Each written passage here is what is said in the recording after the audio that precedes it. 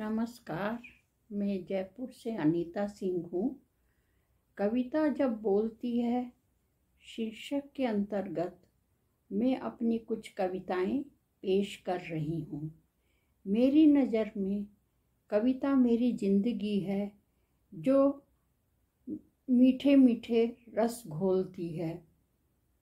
मैं अपनी पहली कविता पेश कर रही हूँ, मैं अकेली तन्हा कहाँ हूँ?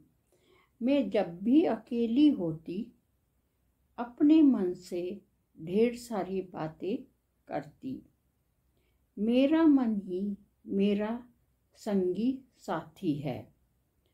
कभी छोटी सी बच्ची का रूप धारण कर लेती, जो खूब नटखट शरारती है। एक तितली बनकर सुंदर सुंदर फूलों पर मंडराती। इधर उधर उड़ती, एक पक्षी बन जाती। ना कोई सीमा, ना कोई बंधन हो। खुले आकाश में उड़ती। मन में इंद्रधनुषी सपने सजाती। उनके ताने बाने बुनती।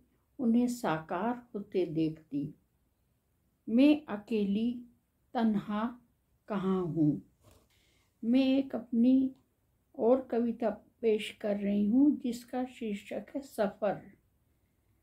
जीवन का सफ़र जन्म से लेकर आखिरी सांस तक चलता रहता।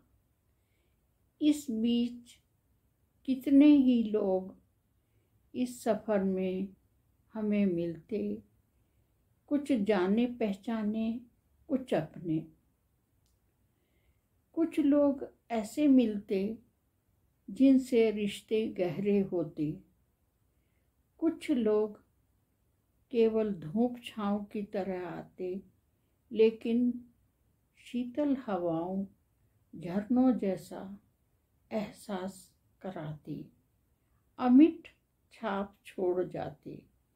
जो जीवन भर भुलाए नहीं भूलती, अपने भी शायद वह सुकून नहीं दे पाते जो अनजान लोग अपने बनकर दे जाते। जन्म से लेकर मृत्यु तक सफ़र चलता रहता।